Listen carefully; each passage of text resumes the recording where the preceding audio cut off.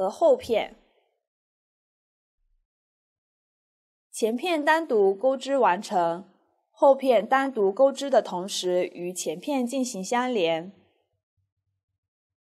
从而形成领口和袖箍。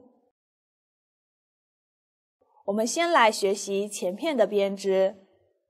首先来看图解，前片通过锁针起针，从下往上沿着起针这一排来回往返编织，包含了身体和肩膀两段。先完成身体，再分别钩织两侧肩膀。用到的针法有锁针以及长针。下面请看我演示身体的编织方法。我们来锁针起针，在正式编织之前，先学习钩边的基本姿势。为了方便大家看得更清楚，我用棉线作为演示。具体的线材、配色以及钩针的型号，我们对应产品的详情页中都有介绍。右手拿起线头，将线头在左手小拇指上绕一圈。从中指与食指之间穿过，用左手拇指与中指捏住线头，稍微预留出一点线头。右手拿起钩针，钩针在这两点之间活动，把钩针放在线的右侧。往下逆时针绕一圈，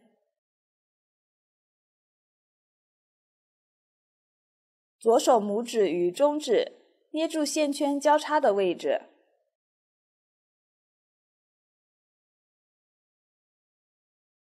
将钩针放在线的左侧，绕线，将线从线圈里面勾出。我们也可以直接打一个活结套在钩针上，起针的这一个结不算一针，拉紧。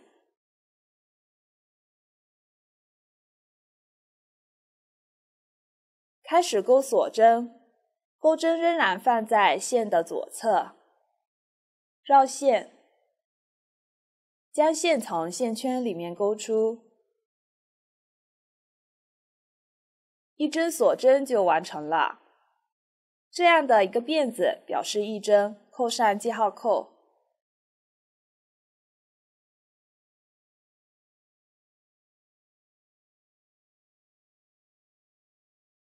这里我起五十四针作为演示，具体的起针数大家请参考我们的纸质图解，起针数必须是七的倍数加五。绕线。将线勾出，这是第二针，三、四、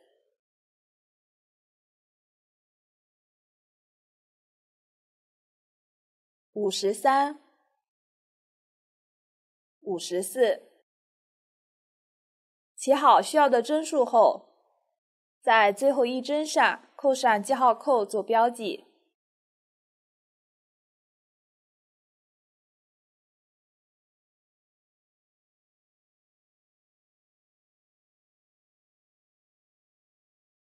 大家看，这个就是起针完成后的样子。在后面的钩织之前，我们来认识一下锁针。锁针有正反面之分，正面辫子形状的这两根线称为锁针的半针，这一根为上半针，另外一根则为下半针，反面的正中有一根一根的渡线，这根线称为锁针的里山。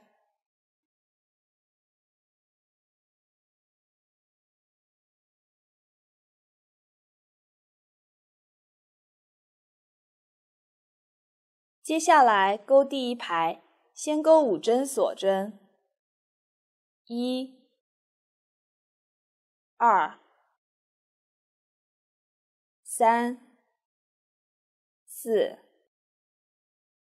五。这五针不算在针数里，然后在下方右边锁针第一针上开始钩长针，钩针绕线一圈，挑起第一针锁针的上半针，也就是记号扣辫子的这样一根线，将线勾出。这时钩针上有三个线圈。绕线穿过前两个线圈，还剩下两个线圈，绕线一次穿过。这个就是长针，在长针针目上做标记。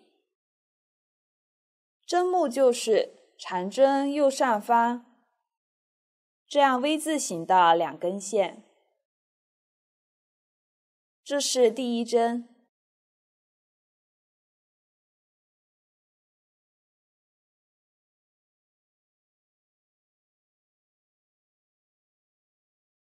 继续在相邻位置钩四针长针，我再演示一遍：钩针绕线一圈，挑起下方相邻辫子的上半针，将线勾出。钩针上一共有三个线圈，绕线穿过前两个线圈，重复两次。一次，两次，这是第二针。这样一针对应一针钩织的针法也叫做不加不减针。再钩三针不加不减长针。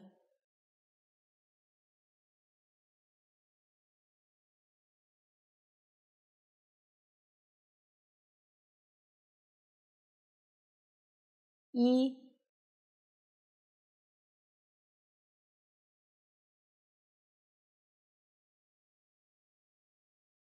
二、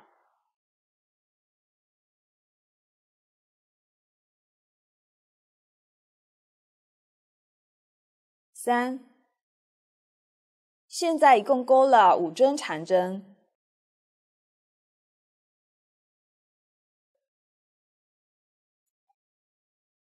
我们将这五针看作一组，接着钩两针锁针过渡。一、二，下方跳过左侧相邻的两个锁针位置不钩，也就是一、二，在第三针上开始钩一组长针，也就是五针。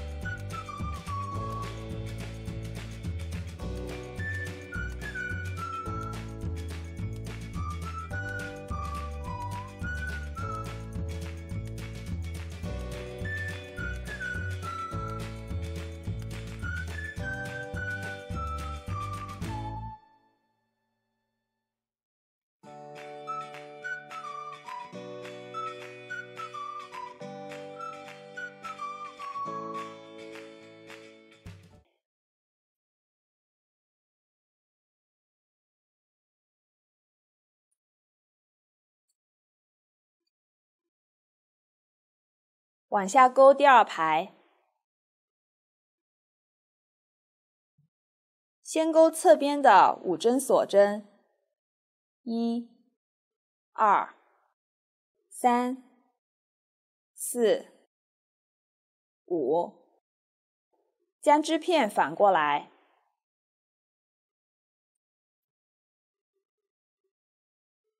来钩第一组长针位置，在第一针上钩一针长针，因为在反面钩织，所以针目在对应长针的左上方。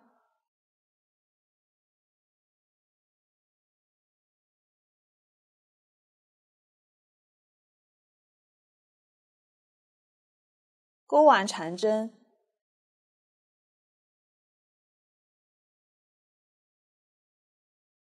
做好标记，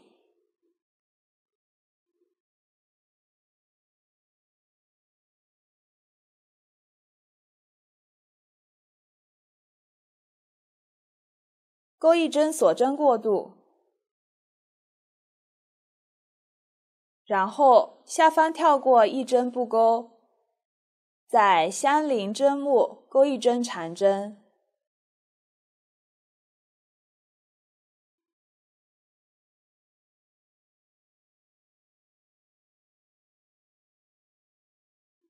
一针锁针，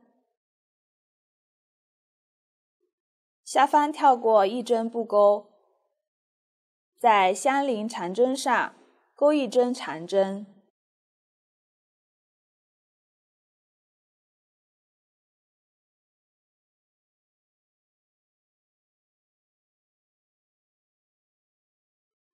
接着下方是两针锁针过渡针。仍然钩两针锁针过渡，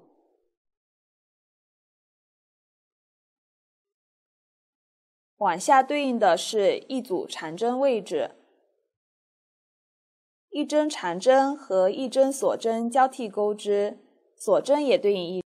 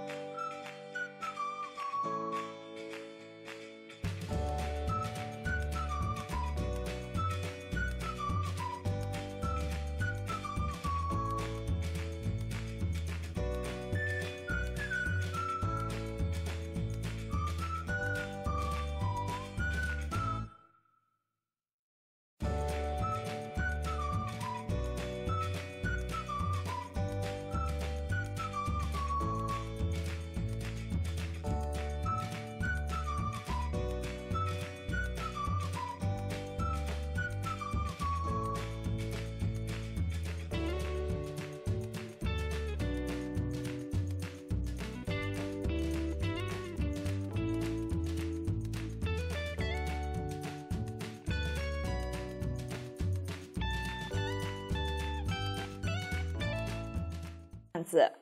我们来看一下身体的编织规律。翻到正面，每两排为一个循环，单数排钩一组长针和两针锁针交替的针法，双数排钩镂空花样。无论是单数排还是双数排，起始位置都需要钩五针锁针。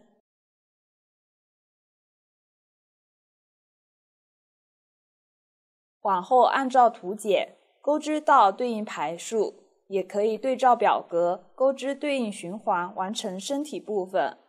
身体最后一排钩完后不需要断线，到这里身体的演示就完成了。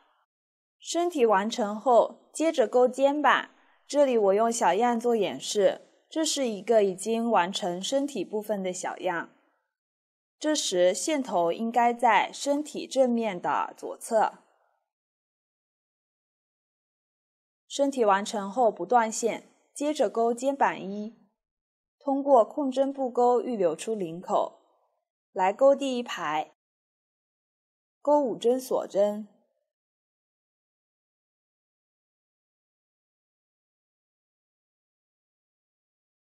将织片反过来，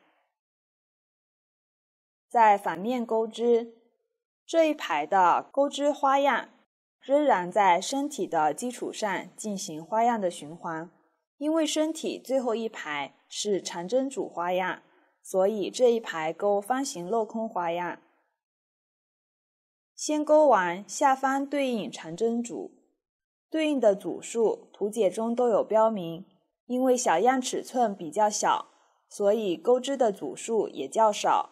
这里我钩两。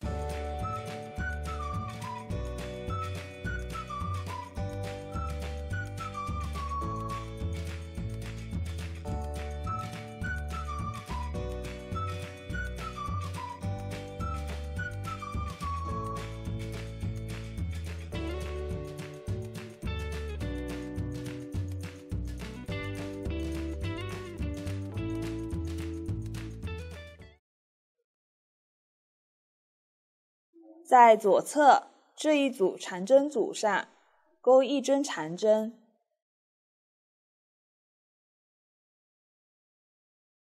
一针锁针，下方跳过一针，在相邻针目上钩一针长针，剩下的位置先不编织，为预留领口的部分。大家看。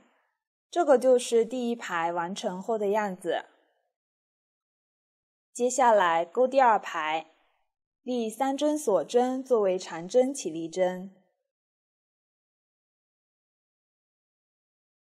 这是第一针，对应的是上一排第一针长针。在第三针锁针的下半针和里山两根线做标记。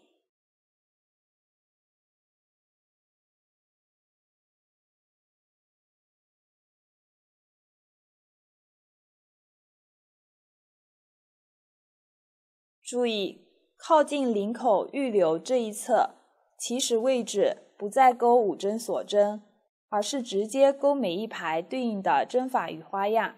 将织片反过来，然后在相邻的锁针洞眼钩一针长针，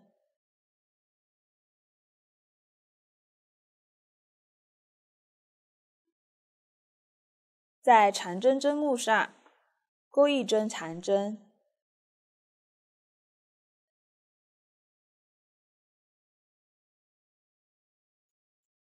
接着下方是两针锁针位置，钩两针锁针过渡。